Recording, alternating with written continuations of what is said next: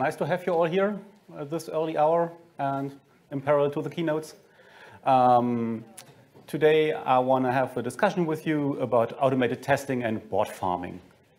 Um, so it's not just me talking, but it's us having a discussion. Um, we're having a microphone, so um, when you have anything to say, just raise your hand. We'll give you the microphone, and then we'll have your, your part on the stream too and in the recording. Um, some words about me. I'm Chris. Uh, I'm working at Pengutronix, and Pengutronix mostly does um, software development, but I'm a hardware developer, so I'm working on hardware for embedded Linux testing, basically. Um, and yeah, I've done things like the USB SD and we're a, a team of three at the moment. Um, yeah, if you want to uh, contact me, drop me an email, find me on Twitter or something like that. Um, yeah, maybe a few words about board farming. We've had some, some talks uh, on this topic already, but just to, to recap what we've already heard. Um, when I'm talking about board farming, I mean um, we have some devices under test, usually embedded Linux devices, um, that we can control automatically. So we can switch power on and off, we have serial console access, um, we can switch boot modes, stuff like that. Um, and at least when Pengutronix is talking about board farming, we always mean that we have interactive access onto these devices in our board farm, because that's our, one of our main use cases. So we have uh, devices in our lab, and we can, our colleagues can work from our office or from home uh, using this, this devices in the lab, and we can share those devices between developers. Um, and the other part is automated execution of, of stuff. And, and stuff is uh, usually uh, automated testing, I guess. Um, so we can, of course, run tests interactively. Someone has to develop tests and someone has to debug them if they fail. Um, but there's also all this whole area of continuous testing. So um, when you have projects um, that want to um, test a branch that has been pushed in a merge request, um, they build artifacts and they can deploy it on, on a device under test somewhere. That's, we've heard that in the Collabora talk. Um, they do that quite a lot. Um, and, but it's also, on our side, it's usually uh, testing of uh, artifacts that have we, we have built. So uh, we are doing nightly builds for our board support packages, and afterwards uh, they are deployed onto a target and a test suite runs. Those targets in our lab are usually highly specific because we work with customers that build highly specific hardware.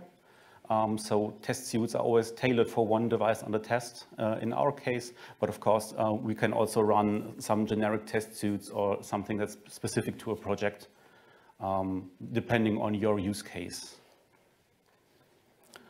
Yeah, and with that said, um, I want to start with the discussion part of this. Um, if you scan this QR code, uh, you will find the link also in the uh, talk description in the chat platform. Um, there's a Google Docs document, and I invite you all to join there.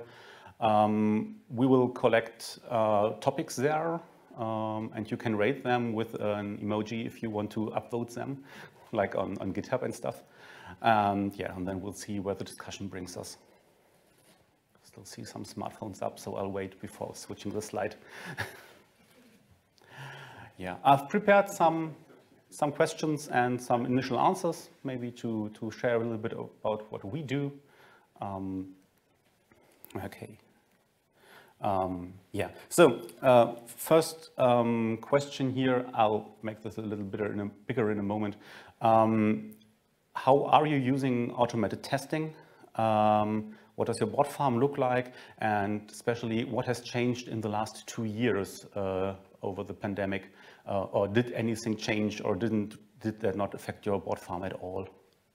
Um, well, our board farm, um, we have like around 100 different devices on the test in our lab, mostly uh, different devices. So sometimes it's two of one of, of a type, but it's usually just different devices. Um, and when we have more than one, we usually share it between interactive use and automated use. So if a developer works uh, on it over day and forgets to unlock it overnight, the automated test, test can still run on the other set. And if one of them fails, we still have the other one, what's quite neat too. Um, most of our lab is built uh, with, on, on 19-inch server racks, and we have seen the Collabora ones with the clean cable management. We've tried that too, but we're really bad at it. so those um, racks usually are, are, scattered in our office, so every colleague has one in their room, or at least in the, the room uh, next to that, and everyone can work on it. So if you want to have a device under test in a lab, you just find a free space, put it there. Um, it's like 16 devices under test in such rack, um, and we have a test server in the middle, um, somewhere here in, in, that area, and Ethernet switch. Um, the older revisions also had a serial server, RS-232 to Ethernet, but we've skipped that in the newer revisions we've built since 2020, I guess, since they made a lot of trouble uh, because they are not behaving good. And so we've moved our serial ports to USB uh, what has a lot of problems too, but at least we know these problems and, and know how to handle them. Um, the older revisions also had a CAN bus on the rack, newer ones don't have that. Um, yeah, that, that's what it looks like. Um, additionally, uh, colleagues have labs on their desk, so they have a power switch and the serial server sometimes, mostly the serial servers we've ripped out of the uh, remote labs uh, recently and they have their desktop PC for, for controlling of USB, for example. And all this is merged together in a, in a large LabGrid uh, lab network, so everybody can access every device in, in every position if they want to. Um, what has changed uh, in our labs? So we've built more of them.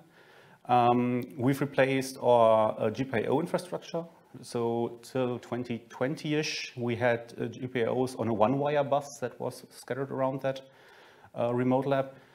Um, and now it's, we've moved that to CAN on a hardware we built ourselves to make it more robust. So we've got rid of USB in that, that chain. And yeah, we have now all software under our control and can, can work on that. Um, one thing that's that's really um, used a lot is multiplexing of USB devices. So if you've got a USB thumb drive thingy and you want to simulate automated updates using USB, what some of our customers do in the field, um, you can switch that thumb drive to your host PC, uh, put a new image on there, put it back onto your device on, to your device on the test, and then you can can simulate an update from there without any anybody having to uh, interact with that. And yeah, we're still working on our one test server per device under test concept using our uh, test automation controllers we're building ourselves. But uh, yeah, getting hardware, uh, buying components is hard, so takes longer than we want to. Yeah, Tim. Are you, uh, you... Are you using your new TAC board to do your USB multiplexing? Um, no, that's that's still an external device, so okay. that's not in there. Um, yeah, another hand, your first row, I think. Does a test server include serial? Uh, the test server includes serial, yes. And power relay as well? Pardon? A power relay. Yeah, and the power relay. So uh, we, we want to have like the, the 80% case. So it's we can switch power up to 48 volts, 5 amps, and measure current and voltage there, have serial three USB ports for whatever you want to connect. There's a serial port that that some GPIOs and a CAN bus for more automation. There's an Ethernet switch in there, so you, you can do VLAN untagging if you want to have your device on a test in another network. So quite a, quite a neat thing. Okay, so um, maybe just um, let, us continue there. How does your, your lab look like? Does any one of you already do board farming uh, and want to share a little bit of what you're doing, how it looks like? Tim. I'm going to talk about my personal lab, not the Sony lab. Well, it, it's a long story. Um, but uh, in my lab, I've got a single PDU that's controlling, that has multiple ports on it. Um, and I've got, Sony a couple of years ago did their own debug board that was kind of, uh, similar in spirit to the TAC, not exactly, but it's controlled over USB, and actually you send it commands over a USB serial thing, and it, it does things like control GPIOs and do USB multiplexing, and mm. it also does uh, power measurement and power control. Um, so, but the problem is it's custom hardware and it's dated, right? It hasn't been updated for a while. Um, but I'm really interested in what specific uh, like PDUs people are using. Um, I know uh, someone mentioned yesterday the uh, Sonos or uh, I can't remember the Yeah, the, So, the Wi-Fi. the uh, Wi-Fi controller. That yeah. that seems pretty interesting and easy to use. Uh, but that's my lab. Uh, I don't know. I actually don't have that much. S- Almost all of my serial stuff is USB. I have a hu- uh, my USB hubs are way overloaded, Hmm. and uh, I know you guys talked about in a previous conference that USB is quite flaky, and that's been my experience as well. Yeah. Yeah, um, yeah, over there.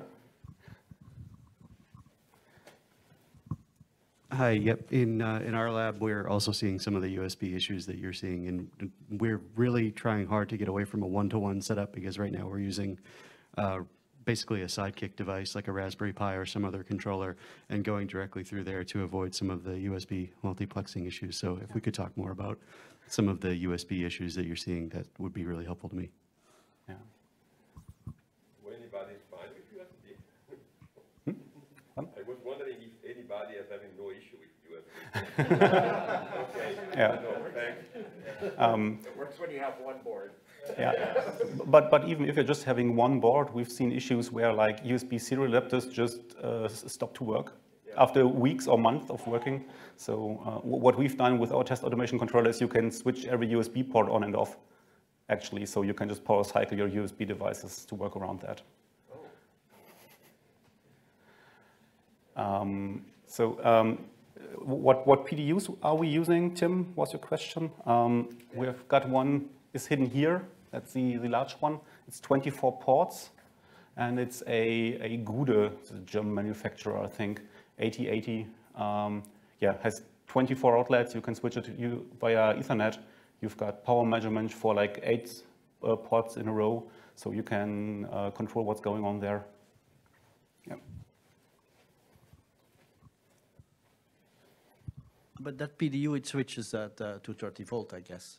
Yeah, it's So still 30. lots of uh, wall warts plugged in for that. Yeah, uh, so we we have, oh, maybe we can even see that. No, not, not really. So we, there are cables coming out of this PDU and going to, to every device on the test, and the, um, yeah, uh, PDUs are just there. Do you also use a low voltage uh, distribution somewhere?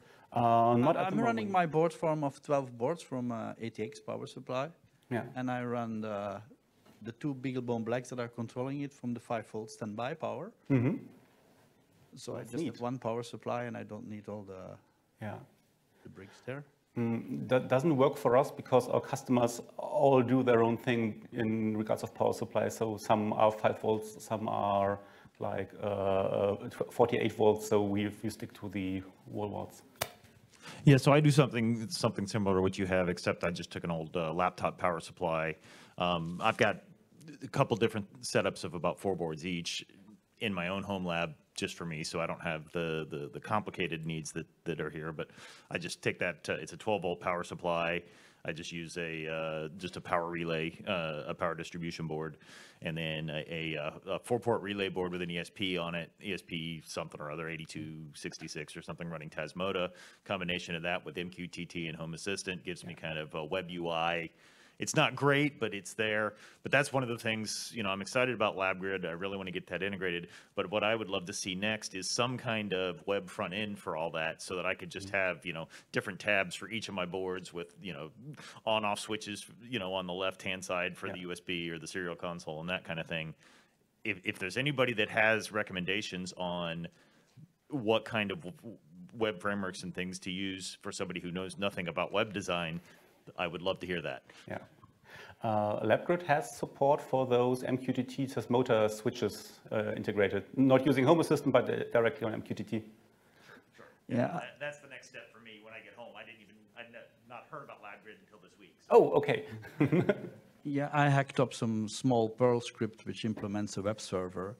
And since all controls to the boards are shell scripts, I, I just launch the shell script from the web server when you press the button in the web UI. Yeah. Okay. yeah. I think there was a hand over there in the back. Yes.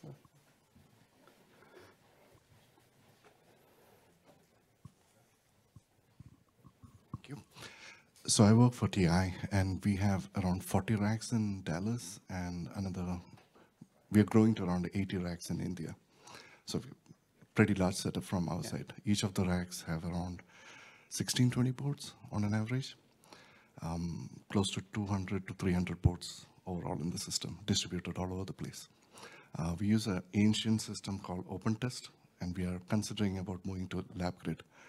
Some of the challenges that we have had is um, uh, time-sensitive network testing, um, camera testing, um, display, uh, interactive remote uh, verification testing. Yeah. If there are techniques for us to uh, interact from that perspective, that'll be interesting for us. Yeah. So uh, everything that's a camera or HID devices is still a problem for us. So uh, when it comes to everything graphics or x86 user input, uh, we're just still doing that on our desk. So there's nothing we have to work on that remote, but maybe anyone else has a solution. Uh, Tim?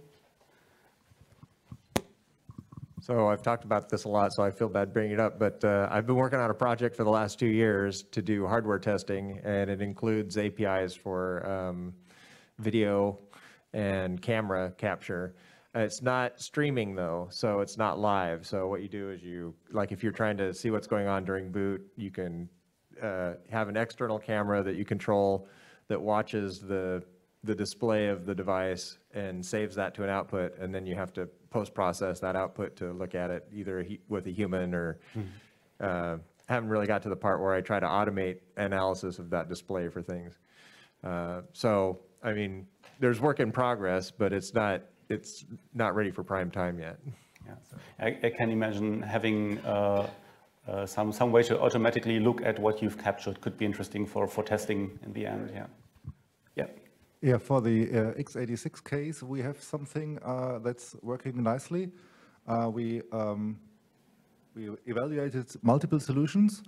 Uh, there are uh, like KVM switches that can capture the HDMI signal or VGA signal. They can uh, produce keyboard input to the device. They can plug USB devices into the into our board. So actually, we are able to power switch with a normal switchable power lane. Uh, we can switch it on and off. We can go into the BIOS. We can change the BIOS settings. Everything is captured via um, HDMI. Uh, so that's like operating the device from locally. And there are several vendors on the market. And actually, and one very interesting open source project, it's called PiKVM. And actually, it was one of those who performed the best. Okay. But Yeah. our manager wanted to have a commercial solution actually because I, I think he was afraid that we would start hacking on PiKVM during work. Okay.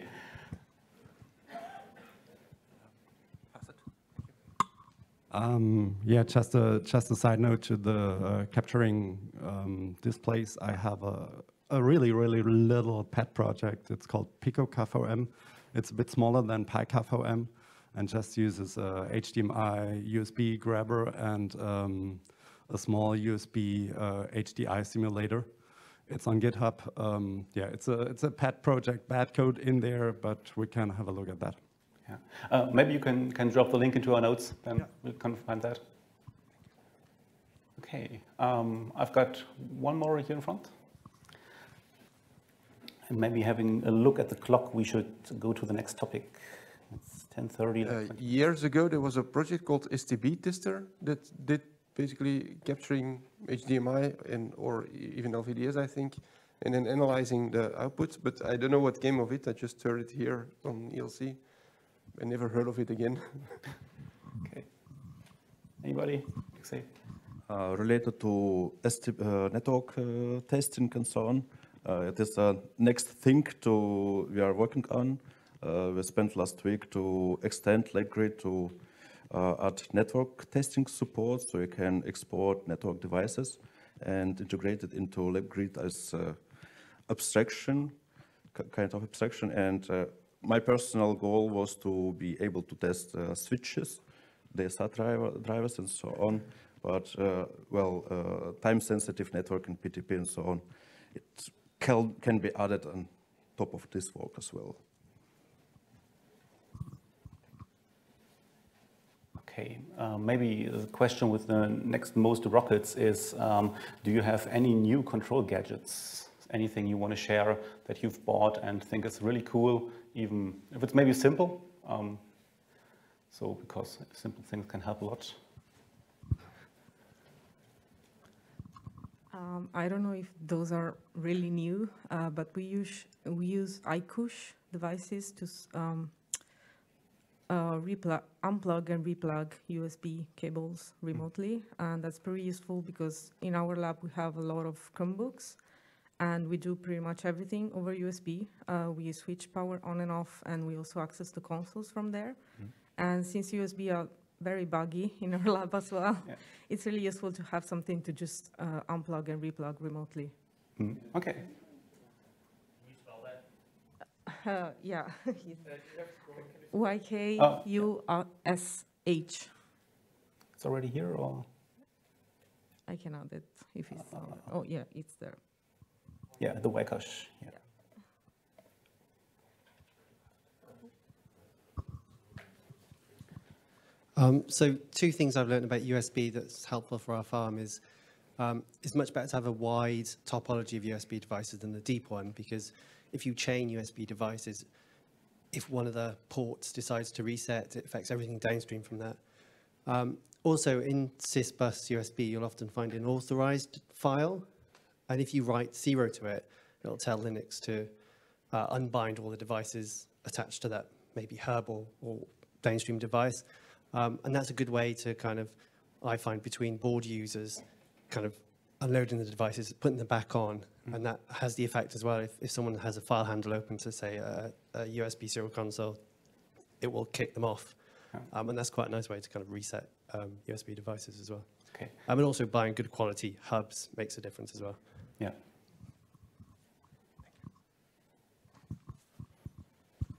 Um, because of the whole USB devices um, power cycling problem, we actually got a patch into a recent kernel where you can disable individual ports and the USB device won't come back until you re-enable the port.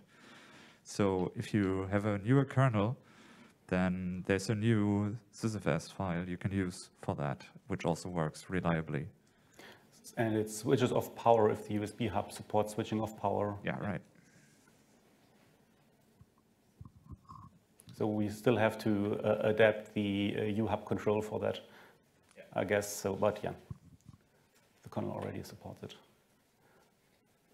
Just a follow-up question to that. Uh, just a follow-up question to that. Is it possible possible to power toggle from yeah. inside? Okay. Yeah. Um, your USB hub has to support it. They need a switch for that, but um, the UHub control GitHub has a list of uh, hubs that do that. It's quite a good resource to find them. Okay, um, I'll move on to the next uh, most rocket uh, question here. Um, the question is, is it possible to test hardware features this way? Um, I would say, yeah, definitely we can test hardware features. That's, that's what we are all doing. So we want to test the software um, we have for the boards, for the devices under test, and we want to test hardware features too. So we try to connect um, the um, uh, all hardware that's around a, a CPU and test that. Um, if you want to test uh, a secure and encrypted boot and stuff like that, uh, you have to steer your device on under test through those states so that you set it up for a test. Um, in LabGrid, there's a thing called a strategy you can write for a board, and that's a state machine that describes how you move, uh, how, how you uh, uh, configure a board between those different steps. Um, yeah, but basically everything you can do by hand is, is possible automated too. Um, I'm not sure, uh, I'm looking to the Pengutronix guys. Have we done that? Have we tested a secure boot and if we can break it? Rouven? Yeah, so we did secure boot testing for one of our projects, and um, you basically have to use the vendor APIs to find out whether your board is in the correct state, and then you have to write tests which try to break secure boot in that case, and that can totally be done. And we also implemented this to um, verify that our AppArmor profiles used in that um, project also worked, and that worked out fine.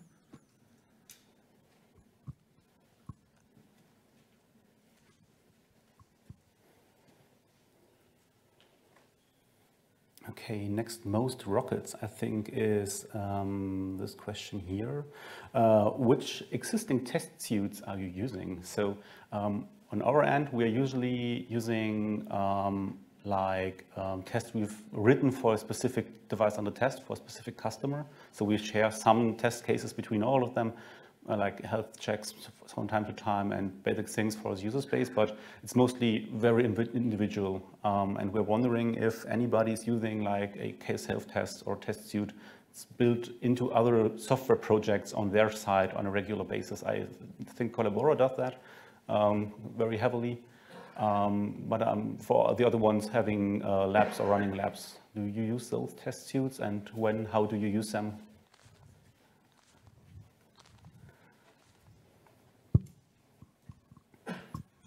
So from TI at least, we kind of forked from LTP and we created our own LTP DDT.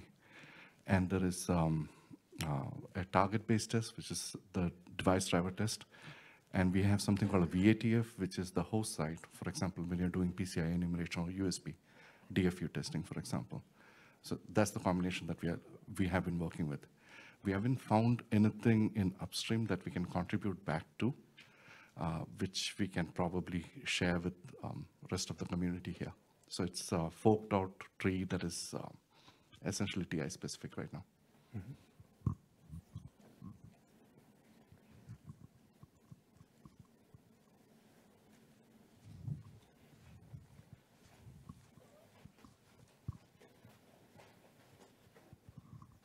was working with a Linux uh, testing framework for some time, uh, but uh, it is uh, hard to integrate into uh, actual uh, targets which we should test as a device for production. I mean, you can't integrate all of needed scripts and software into end software, and it is affecting testing results. So probably all of testing which uh, should be done at the end is kind of uh, outside of the scope of most of testing frameworks which exist.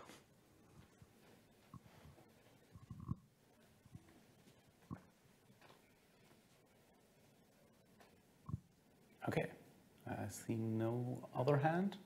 Um, having a look, what's the next question? Um, maybe Tim's. Tim had three rockets here. Um, uh, is anyone doing hardware testing in the lab? What, what kind of hardware, testing do you mean? Well, I, so uh, the ones that I focused on were audio uh, and uh, serial port off the board. So using, instead of doing loopback testing, which almost everybody does to test uh, like Linux drivers, I, want, I wanted to test all the way through the, through the hardware. And so uh, my pet project is lab control, and I'm working on uh, APIs to control uh, hardware in your lab that's not on your device under test, so that you can capture, for instance, for a serial port test, capture uh, another device that's connected by a cable to your device under test, and then analyze the data there. And uh, uh, so the, we've done a couple of different things, you know, I, I mentioned before, the video and the camera and audio and serial are the ones we've done so far. But I'm wondering if any other, anybody else is doing things like that where they're manipulating external uh, pieces of hardware and how they're doing that, if it's just all ad hoc scripts or if they have uh, a framework set up for that. That's my question.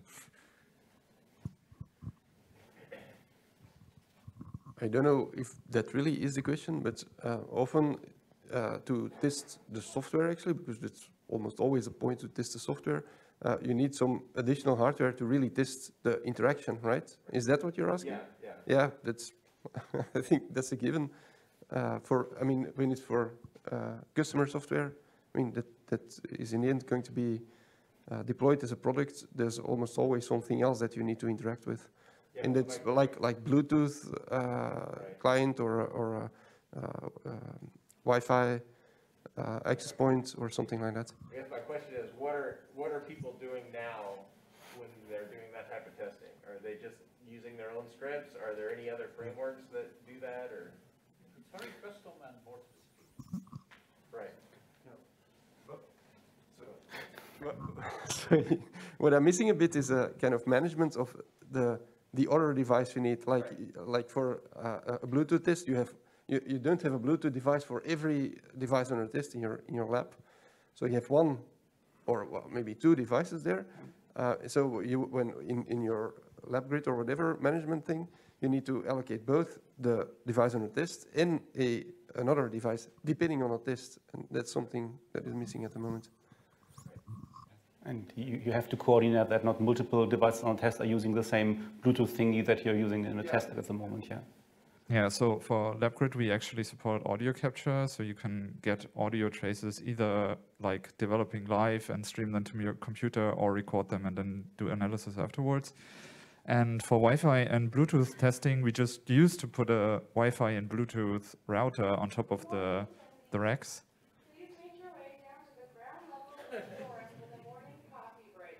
Okay. Okay. I'm not. I'm not going to the coffee break, though. Thank you.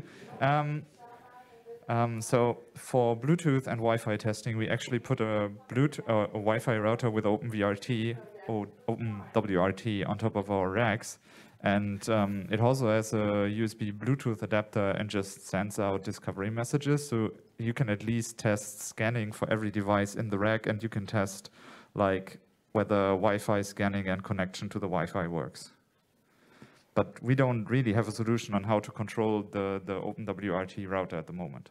Yeah. You, you could add it as another resource in your test, but I think we're not doing really, that really. Um, so uh, LabGrid has support for controlling USB Wi-Fi sticks and USB Ethernet um, devices via um, Network Manager. So you can connect to an access point hosted by the device and also start an access point so the device can connect to that you can basically test yeah, iPerf and network traffic over that device. Okay, oh, one at the back.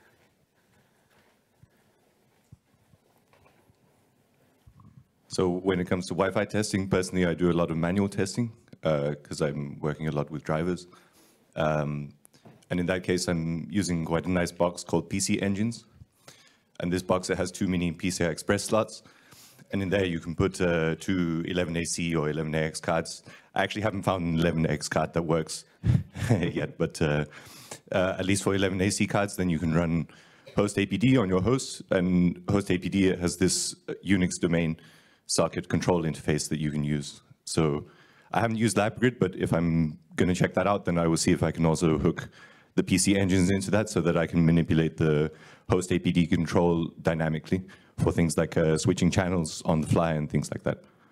Um, if anyone is doing something similar, then we can talk afterwards.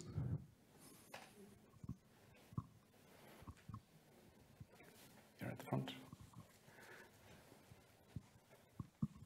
Well, this is not what I do, but I think it's pretty obvious. I think what we need from LabGrid is because it's not a matter of having a very specific support for Wi-Fi, for Bluetooth or USB, as what Tim is really need, and I guess all those that said something here, is we need a way to control multiple places in LabGrid. For, because right now, when you write a test case for LabGrid, you, you have an implicit place as a target. No, you can have multiple. You can have multiple places, because that, that basically is the tool here. We, we, it's not a matter of having generic support for a lot of stuff, because a lot of the time, this is very custom stuff. So we need to just use uh, multiple places and do normal uh, LabGrid control of those. Then you can do it anything, I guess. Yeah. And there is this uh, reservation method in LabGrid, so you could wait for a specific place to appear or to be available, and then you could like control your access point using LabGrid when it's available, and then start your test suite.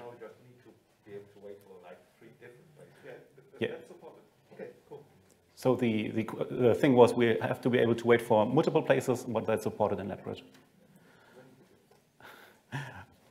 okay, um, it's like five minutes. So um, maybe going down the list a little further. Um, one question is, is there any group for discussion this further? Um, it would be great to keep talking to everyone after this meeting. And Tim has added the eLinux automated testing page and board farm page, I guess. Um, that's a great place to start. And there's a mailing list. And there's the monthly automated uh, testing call, I think it's, it's called.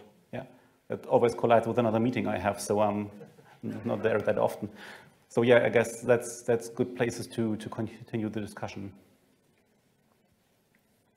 Uh, anyone has anything else that I've missed? Okay. Um, then Bastian from Remote uh, Questions. Um, does anyone have experiences with automated repeated tasks, maybe like automated Git bisecting? Um, my first idea would be to use LabGrid scripting for that. You can use uh, LabGrid as a library in Python, and then you can um, write a small wrapper that does your Git bisect using LabGrid. But um, I'm, I'm, more the electronics engineer, so I'm looking to my colleagues, are we actually using that that way? Alexei.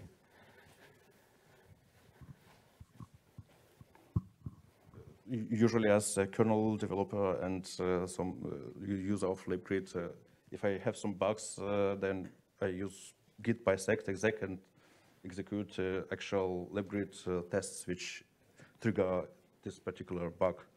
So probably I didn't understand the question, what is actual problem?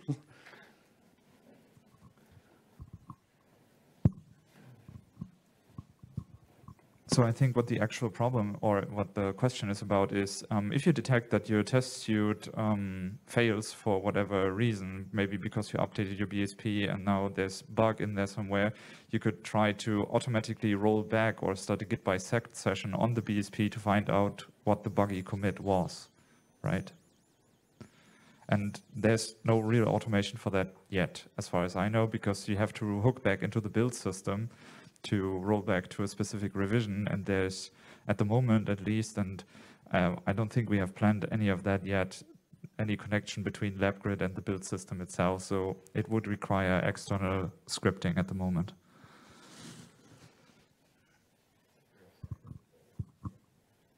Um, KernelCI has automated bisection integrated as part of the CI, so that could be uh, worth looking at as a reference implementation. I'm not sure if it works only on the Lava Labs at the moment. Uh, it doesn't matter what the lab is, right? Because it just submits jobs. If it fails, it bisects and submits another job. So it could be a LabGrid. Oh, don't throw your laptop away. Mm-hmm. uh, it could be with, with anything really. But it's it's a bit outside of the board farm, right? From your board farm, you just want to know, does this build work? And then you can decide whether you bisect or do anything else.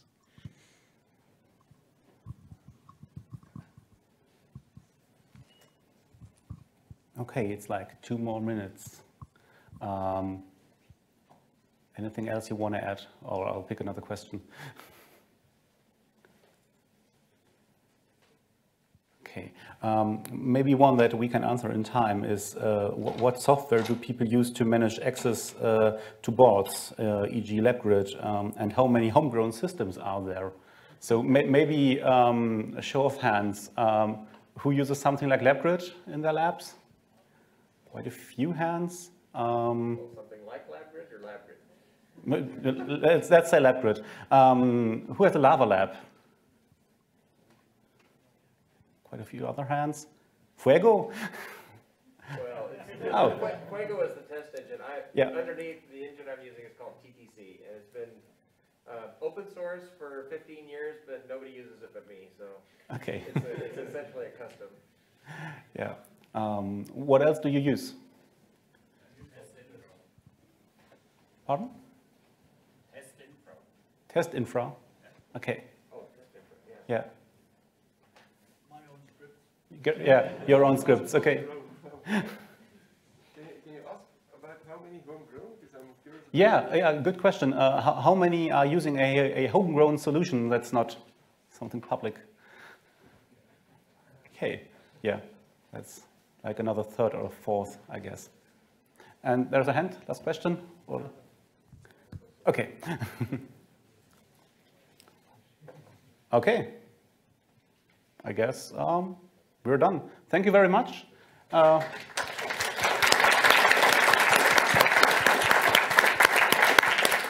was was great to have you all here, and I guess we'll hear on the next next automated testing uh, monthly call or something like that.